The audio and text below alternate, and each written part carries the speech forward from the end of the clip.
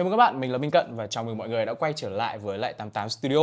Với mình thì mình cũng đã được trải nghiệm rất là nhiều những mẫu laptop của năm 2024 từ cả gaming từ là Ultrabook rồi. Và cũng chính vì thế cho nên mình đang cảm giác là hình như là có cái gì đấy nó hơi cấn cấn với lại mấy con laptop này phải. Và sau khoảng thời gian mình đi cãi nhau ở rất là nhiều những cái group từ cả Việt Nam cho đến là nước ngoài thì mình thấy rằng là không chỉ mình mình mà cũng có rất nhiều người đang có chung một góc nhìn và cùng một câu hỏi đó là có vẻ như là mấy con laptop 2024 này nó bị cái gì ấy rất là khó hiểu Thế nên là hãy cùng với mình thử tìm hiểu ở trong video này xem là nó đang bị cái gì nhá. Còn bây giờ thì intro thôi.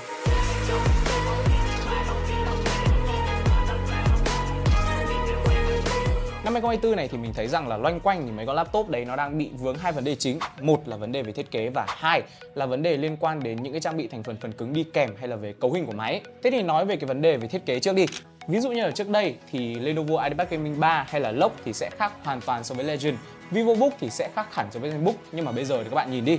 Lock nó gần giống với Legend Victor thì có nét gì đấy từ lâu đã khá là giống với Omen, hay là ví dụ như mình đang có đây là chiếc HP Envy của năm 2024 thì chưa năm nào mà mình nghĩ rằng là con Envy nó lại mất chất như năm nay. Các bạn nhìn vào con Envy năm nay đi, so với lại con Elitebook nó cứ giống hệt nhau, chẳng khác gì cả. Thì theo quan điểm của mình ở cái phần này thì đó là do bởi cái ngôn ngữ mà các hãng chọn cho những dòng máy thì đã được chọn từ trước đây rất là lâu rồi. Thế nên là qua một vài năm, một vài đời máy họ phát triển cái ngôn ngữ đấy đến mức tối đa nên là sẽ có xu hướng dòng máy nó sẽ có những cái thiết kế nó lặp lại và sẽ có những cái thiết kế của các hãng nó sẽ dần dần trở nên trùng nhau. Với bộ phận người dùng cơ bản thì để bảo là phân biệt rõ ràng được từng cái chi tiết nhỏ như là cái độ flex hay là bấm bàn phím nó nông hay sâu ấy thì rất là khó. Vậy nên là hiện tại ở trên cương vị là người dùng đi mua laptop thì sẽ có hai vấn đề cực kỳ khó giải quyết. Một là ma trận laptop quá là nhiều khiến chúng ta không biết phải chọn chiếc laptop nào. Hai là đã là fan của những cái dòng laptop cao cấp như là NV hay là XPS Bây giờ mua về thì lại lo là bị lỗ bởi vì là nó đem lại một cái trải nghiệm gần như là không khác gì so với những dòng laptop rẻ tiền hơn. Cơ mà mình đoán là các hãng họ cũng đã phát hiện ra cái bất cập này rồi, Thế nên là trong những cái năm gần đây thì mình thấy rằng là đang có rất nhiều những cái mẫu concept laptop mới được đưa vào thử nghiệm ở trong thực tế. Thôi thì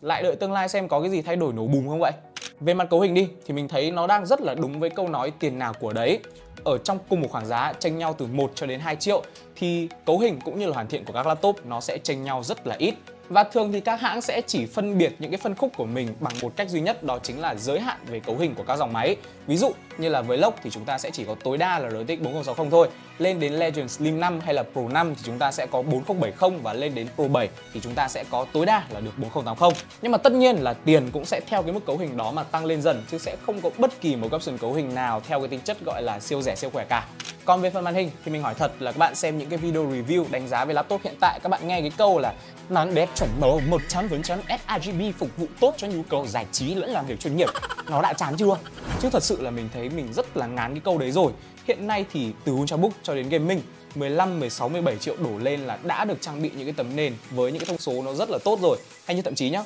gần đây mình thấy là có một vài mẫu Chromebook mới về, tầm giá 8 triệu, nó cũng đã có màn hình với cái thông số nó rất là khủng rồi.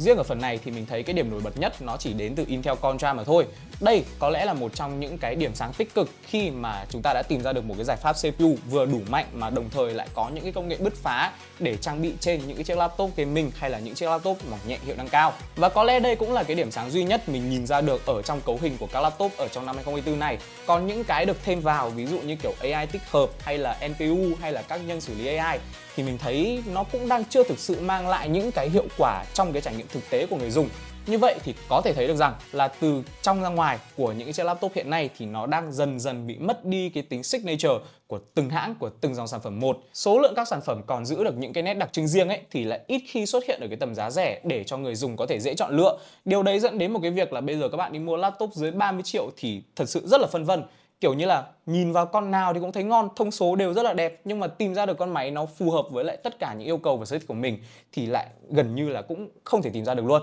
và đấy, như mình đã nói ngay từ đầu video rồi, cái video này nó sẽ không mang tính chất gọi là dìm hay là chê bất kỳ một cái sản phẩm cụ thể nào và cũng sẽ không mang tính chất gọi là nhận xét một cái phiến diện mà muốn đưa ra đây một cái góc nhìn, một cái thực trạng về những cái chiếc laptop của năm 2024 đúng thật là nó đang bị thế quái nào ấy. Và nếu như các bạn có quan tâm đến công nghệ thì hẳn là các bạn cũng đã nhận ra được cái sự bão hòa này không chỉ đến từ các sản phẩm laptop mà còn đến từ rất nhiều những cái sản phẩm công nghệ khác nữa. Và qua từng năm, qua từng đời máy, nếu có những cái thay đổi thì cũng sẽ chỉ là những cái thay đổi nó rất là nhỏ giọt chứ không có bất kỳ một cái sự thay đổi nào nó mang tính chất quá là nổi bật hay là đột phá. Vậy sau khi xem xong video này thì góc nhìn của các bạn là như thế nào? Các bạn có ý kiến gì về những cái mình đã nêu ra phía trên thì hoàn toàn có thể để lại cho mình comment ở bên dưới để chúng ta sẽ cùng nhau thảo luận nhiều hơn về cái chủ đề này. Còn bây giờ thì xin chào và hẹn gặp lại các bạn trong những video tiếp theo đến từ 88 Studio.